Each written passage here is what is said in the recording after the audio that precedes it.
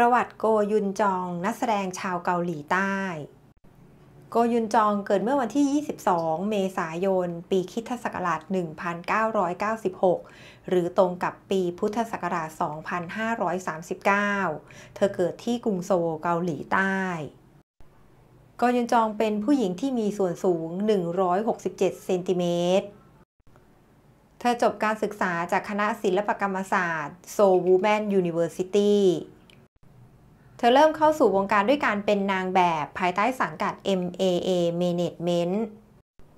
และมีผลงานโฆษณากับหลายแบรนด์ดัง และได้เดบิวต์ในฐานะนักแสดงจากซีรีส์เรื่อง He is Psychomatic ซึ่งออกฉายในปี 2019 จากนั้นในปี 2020 ก็มีผลงานซีรีส์ Netflix เรื่อง The School Nerd File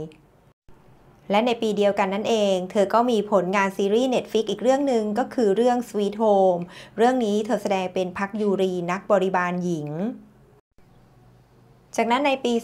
2021 ก็มีผลงานซีรีส์เรื่อง Law School เรื่องนี้เธอแสดงเป็นซอนเยซึนนักเรียนกฎหมาย ที่มีบาดแผลทางกายและใจจากการที่แฟนหนุ่มทำร้ายซ้ำๆปี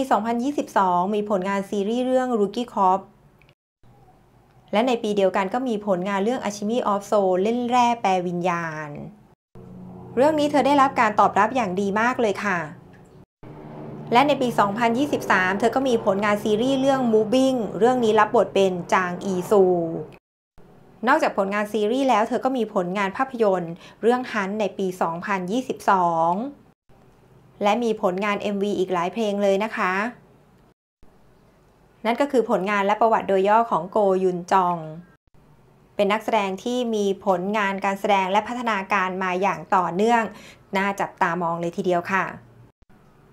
สำหรับคลิปนี้ขอบคุณท่านผู้ชมที่ติดตามรับชม และฝากติดตามผลงานของโกยุนจองด้วยนะคะ สวัสดีค่ะ